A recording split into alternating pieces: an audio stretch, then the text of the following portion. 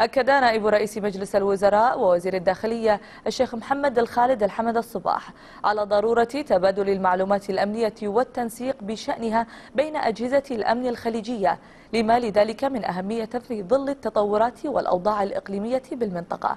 جاء ذلك خلال اجتماع الشيخ محمد الخالد الحمد الصباح مع مدير عام الأمين العام في دولة قطر اللواء ركن سعد بن جاسم الخليفي والوفد المرافق له بمناسبة زيارته للبلاد. وأكد الشيخ محمد الخالد الحمد الصباح خلال اللقاء عمق العلاقات الأخوية والتي تربط البلدين الشقيقين مشيرا إلى أهمية تبادل الخبرات والزيارات المتبادلة لتعزيز مسيرة الأمن الخليجي والتي تدعم التطلعات لتطور الأجهزة الأمنية كل في مجاله مؤكدا عمق العلاقة الأمنية الخليجية المتأصلة باعتبارها عنوانا لنجاح كل تعاون وتطور للأجهزة الأمنية لدول مجلس التعاون الخليجي.